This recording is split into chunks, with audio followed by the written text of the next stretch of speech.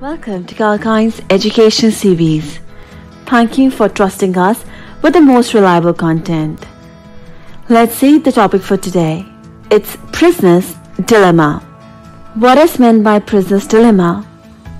Prisoner's Dilemma is a two player game theory experiment that deals with the player's decision making skills based on variable outcomes presented to them.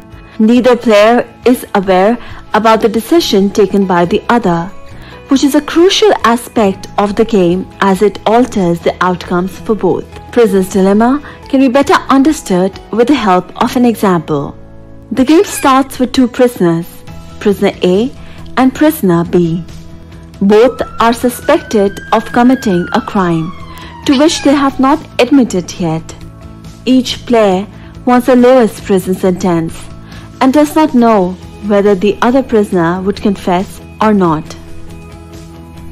Now, there are four possible outcomes.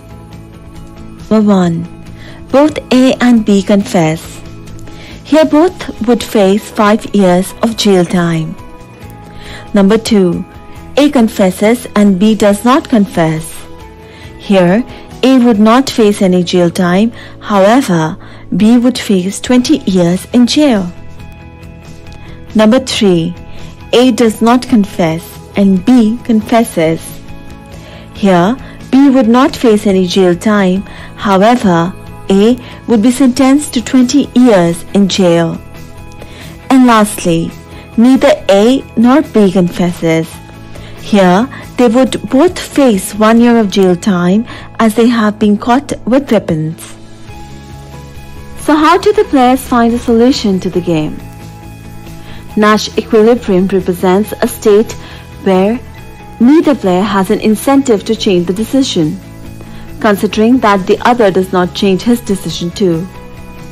Dominant strategy refers to that strategy which has a greater payoff for the player, regardless of what the other player does. For example, if player A confesses, then the present time faced by him depending on whether B confesses or not are 5 years and 0 years respectively.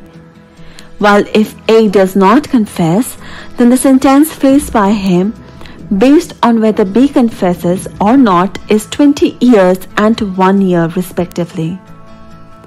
It can be clearly seen that A faces lesser prison time when he confesses as compared to when he lies. Thus, the dominant strategy for A is to confess. Given this strategy by A, B now must make his decision. Now B has two options. If he confesses, then he would have to serve 5 years of jail time. And if he lies, he would have to serve 20 years of jail time. Thus, the better option for him is to confess too. Now, taking the reverse course of action, we would consider the action of A given by B's dominant strategy. The intersection of A and B's dominant strategies would give us the Nash equilibrium. It can be seen that both A and B can reach the Nash equilibrium when they confess. Well, that's all for now.